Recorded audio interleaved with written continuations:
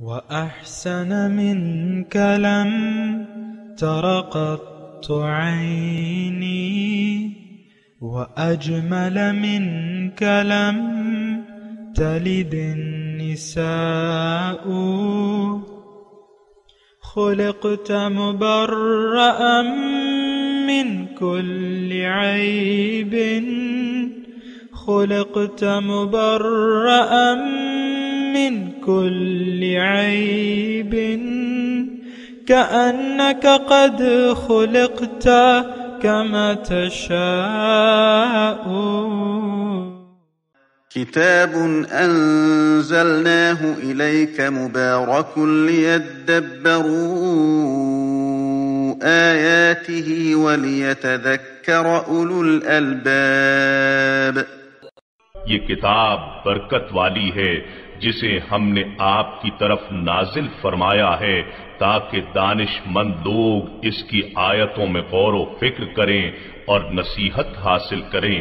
अल्लाहुम्म सल्लि अला सय्यिदिना मुहम्मद व अला आलि सय्यिदिना मुहम्मद बिअदद कुल्लि ज़र्रतिन मिअत अल्फ अल्फ मर्रत सामईन व नाज़रीन कराम, अस्सलामु अलैकुम व रहमतुल्लाहि व कराम सूरह अन-निसा, दर्स नंबर तीन सौ चवालीस आयत नंबर उन्नीस से तेईस। आज का मौजू जो बात हमें नापसंद हो उसी में हमारे लिए बेहतरी हो सकती है। इसके साथ आज के सबक का आगाज़ करते हैं। सबसे पहले गुज्त सबक का अहादा होगा।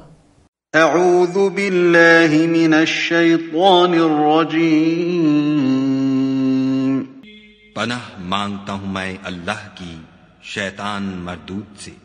बिस्मिल्लाहिर्रहमानिर्रहीम शुरू अल्लाह के नाम से जो बड़ा मेहरबान निहायत रहम वाला है वल्लाती यअतीन अलफाहिशत मिन निसाइकुम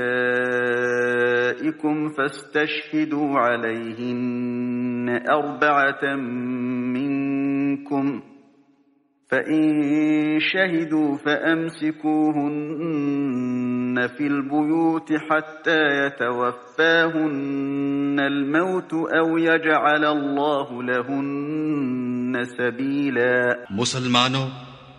तुम्हारी औरतों में जो बदकारी का इर्तकाब कर बैठे उन पर अपने लोगों में से चार शख्सों की शहादत लो अगर वो उनकी बदकारी की गवाही दें तो उन औरतों को घरों में बंद रखो यहां तक कि मौत उनका काम तमाम कर दे या खुदा उनके लिए कोई और सबील पैदा करे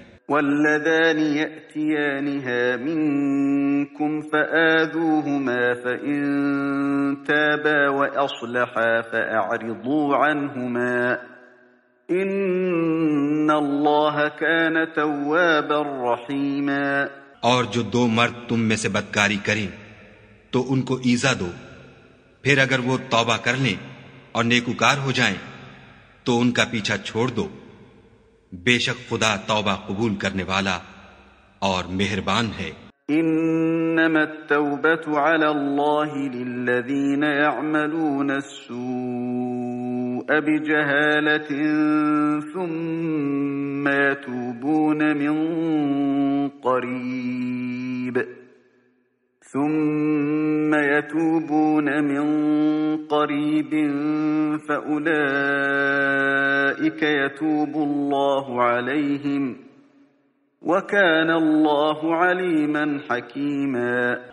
खुदा उन्हीं लोगों की तौबा कबूल फरमाता है जो नादानी से बुरी हरकत कर बैठते हैं फिर जल्द तौबा कर लेते हैं बस ऐसे लोगों पर खुदा मेहरबानी करता है और वो सब कुछ जानता और हिकमत वाला है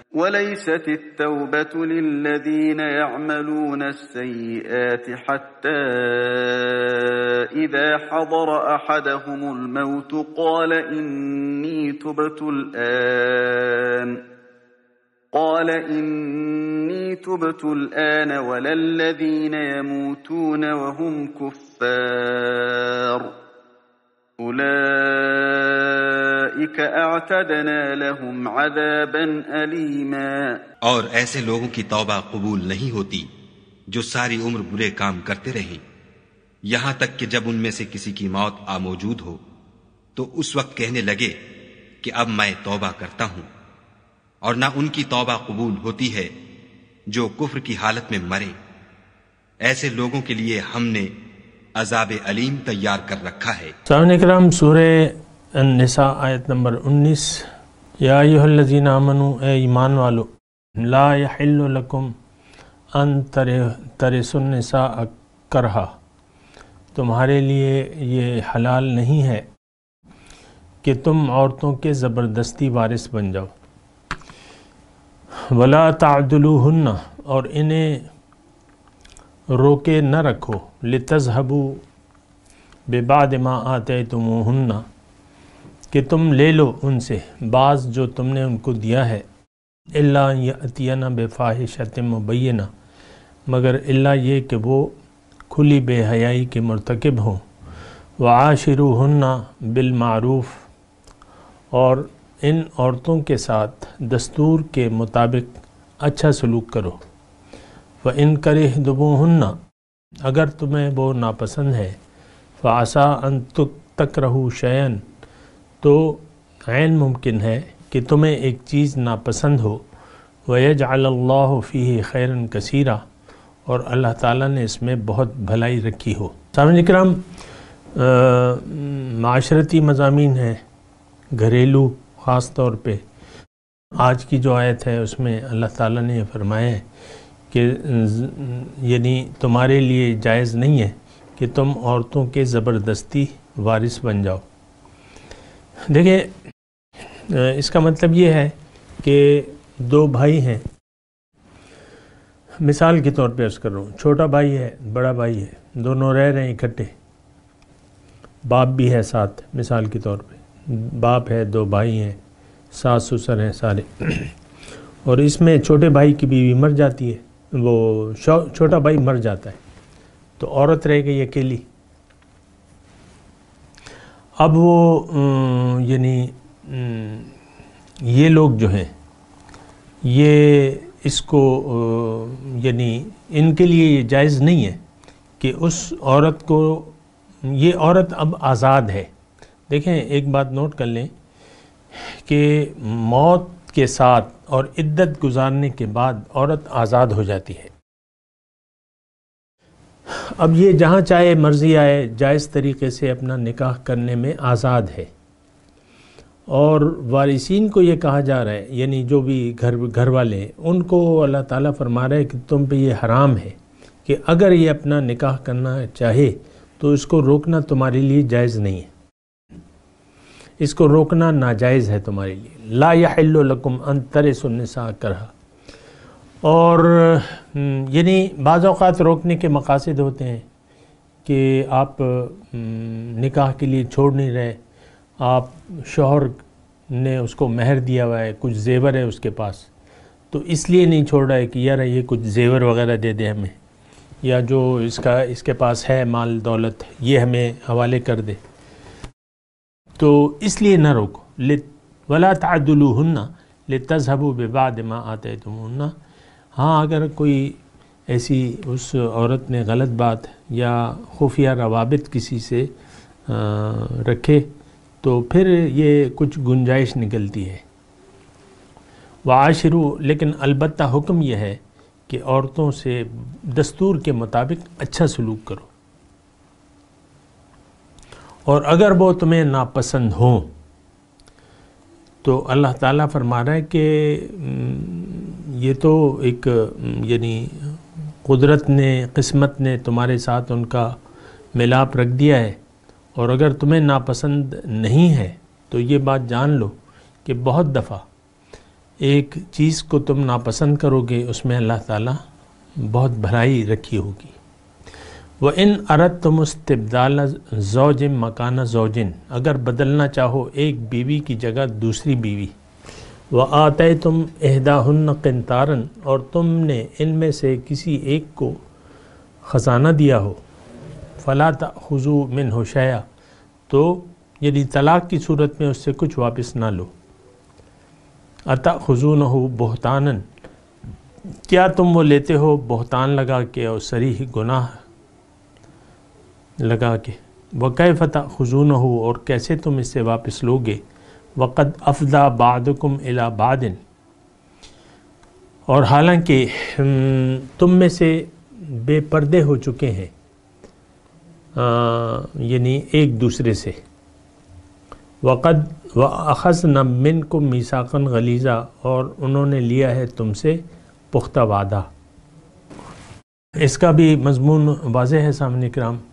कि तलाक़ जो है अगरचे अब गज़ुल मुबाहत है। यानी अल्लाह के नज़दीक नापसंद मुबाह कामों में नापसंदीदा काम है तलाक़। तो लेकिन फिर भी अल्लाह ताला ने गुंजाइश रखी है और एक बीवी को तलाक़ देने यानी मुबा है, जायज़ है। तो लेकिन अल्लाह ताला उस सूरत में फरमा रहे हैं कि देखो, अगर चार बीवियाँ हैं तुम्हारी, या चार का तो यहाँ तस्करा नहीं है, बस सिर्फ़ यानी एक को तलाक दे के दूसरे से शादी करना चाहते हो तो मजमून यह है कि तुम उससे जो महर तुमने दिया है तो उससे वो महर वापस ना लो।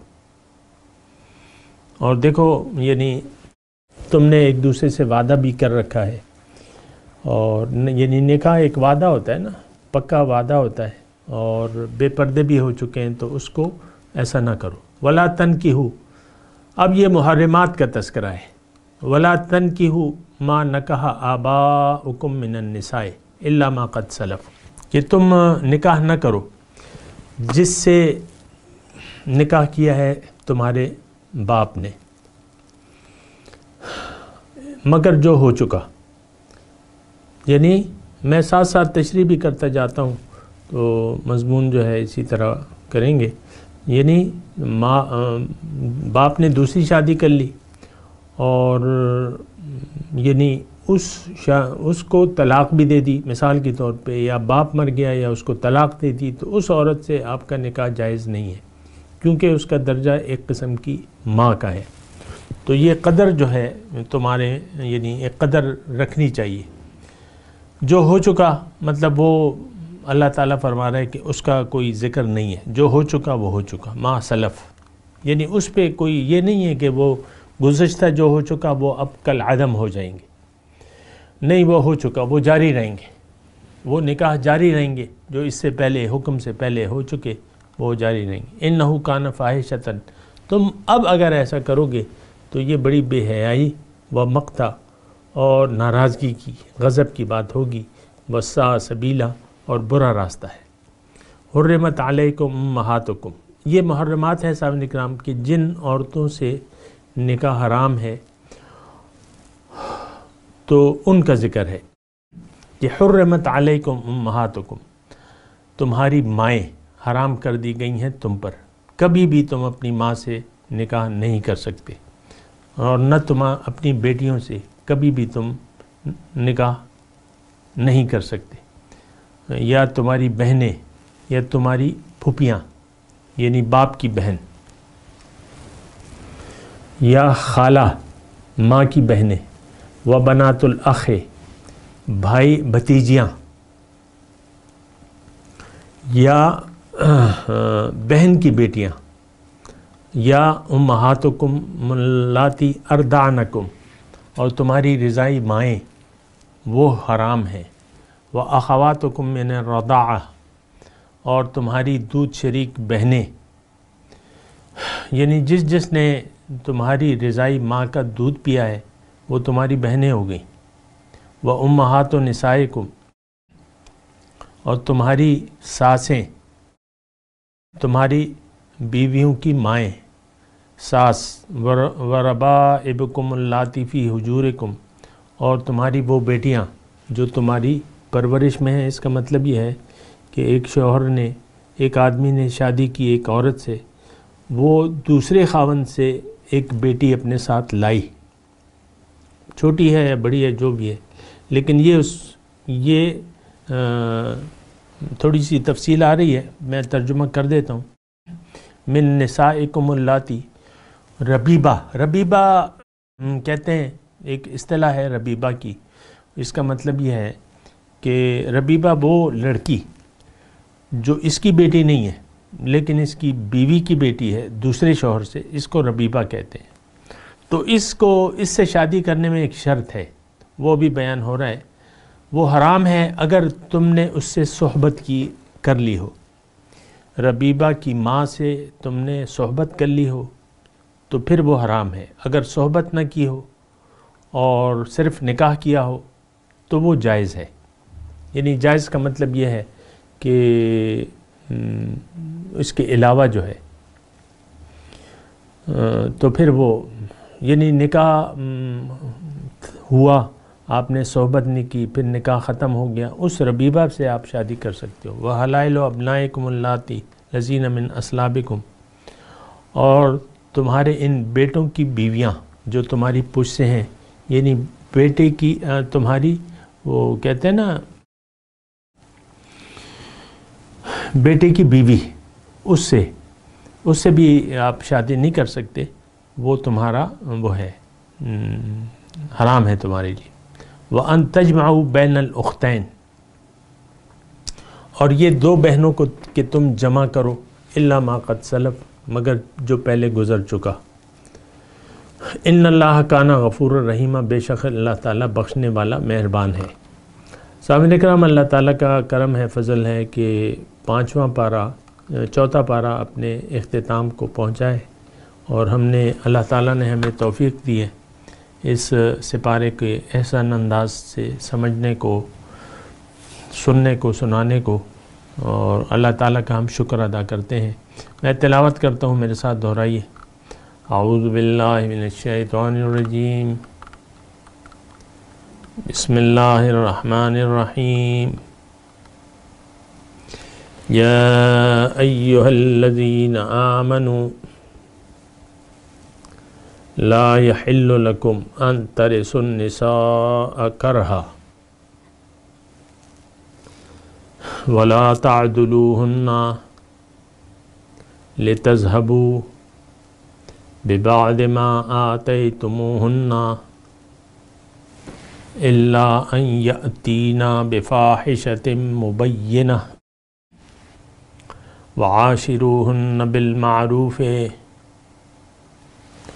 फ़इन करहतुमूहन्ना फ़ासा अन तकरहू शयअम वयजअल्लाहु फ़ीहि खैरन कसीरा व इन अरदतुम इस्तिबदाल ज़ौजिन मकान ज़ौजिन व आतयतुम इहदाहुन्न क़िंतारन फ़ला तअख़ुज़ू मिन्हु शयआ अतख़ुज़ूनहु बुहतानं व इस्मम मुबीना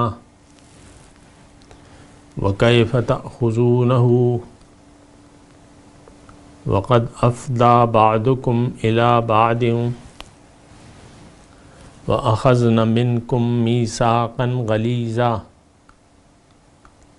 वला तनकिहु मा नकह आबाउकुम मिनन निसाए इल्ला मा क़द सलफ़ इन्नहु कान फ़ाहिशतम व मक़ता वसा सबीला हुर्रमत अलैकुम उम्महातुकुम व बनातुकुम व अखवातुकुम व अम्मातुकुम व खालातुकुम व बनातुल व उम्माहातुकुमुल्लाती अर्दानकुम व अखवातुकुम मिनर्रदाअत व उम्महातु निसाइकुमुल व उम्महातु निसाइकुम व रबाइबुकुमुल्लाती फ़ी हुजूरिकुम मिन निसाइकुमुल्लाती दखल तुम बिहिन्ना फ़िल्लम तकूनु दखल तुम बिहिन्ना फ़ला जुनाह अलैकुम वहलाइल अबनाइकुमुल्लज़ीन मिन अस्लाबिकुम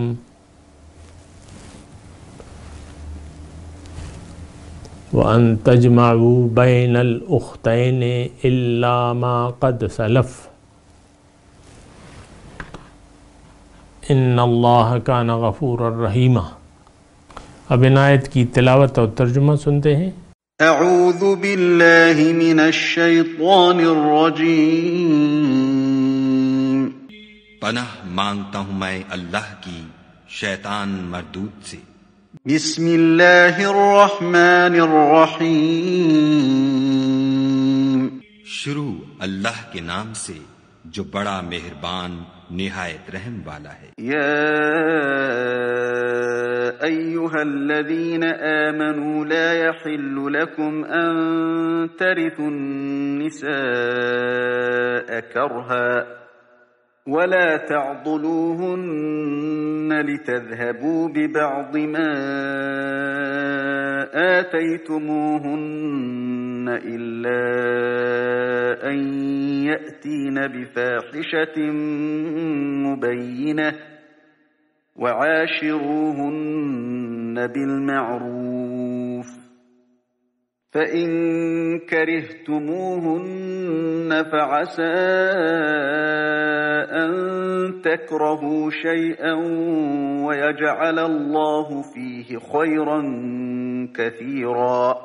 मोमिनो तुमको जायज नहीं कि जबरदस्ती औरतों के वारिस बन जाओ और देखना इस नियत से कि जो कुछ तुमने उनको दिया है उसमें से कुछ ले लो उन्हें घरों में मत रोक रखना हाँ अगर वो खुले तौर पर बदकारी की मुर्तकिब हों तो रोकना नामुनासिब नहीं। और उनके साथ अच्छी तरह से रहो सहो। अगर वो तुमको नापसंद हो तो अजब नहीं कि तुम किसी चीज़ को नापसंद करो। और खुदा उसमें बहुत सी भलाई पैदा कर दी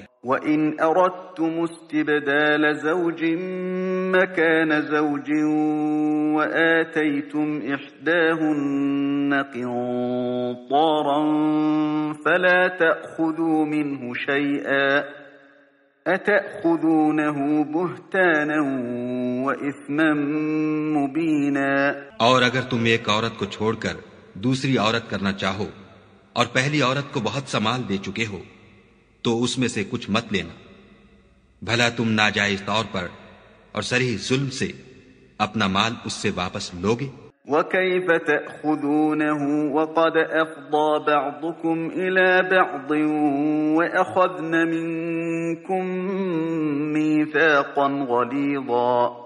और तुम दिया हुआ माल क्यों कर वापस ले सकते हो जबकि तुम एक दूसरे के साथ सोहबत कर चुके हो और वो तुमसे अहद वासिक भी ले चुकी हैं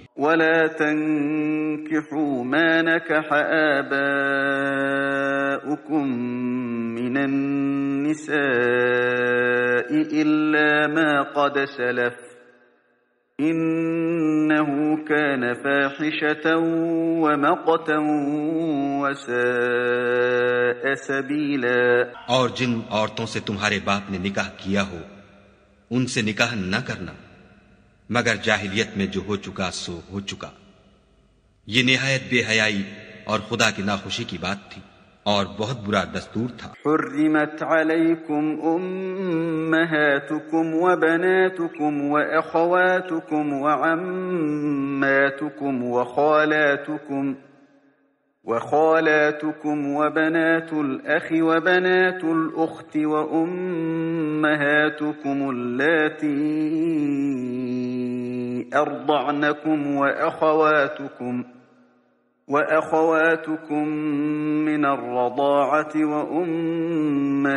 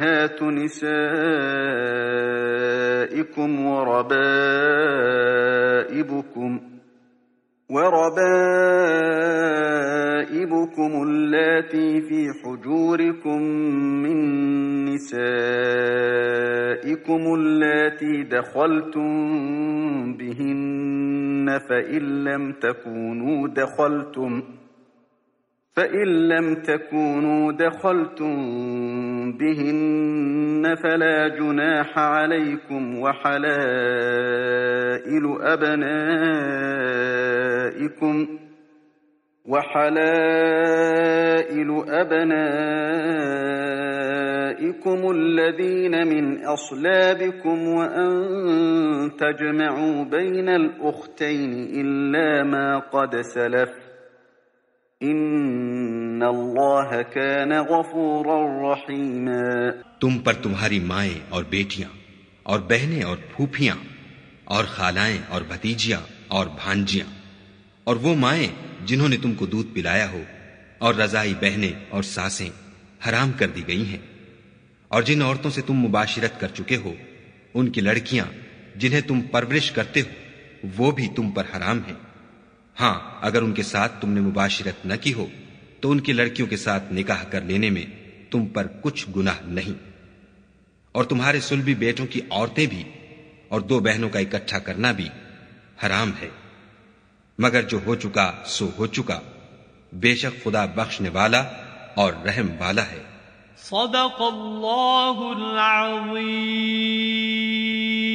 सामने कराम इसके साथ आज के दर्स का वक्त अख्ताम को पहुँचा। अगले दर्स में इन मुलाकात होगी। व आखिर दावाना अनिलहमदिल्ला रबालमीन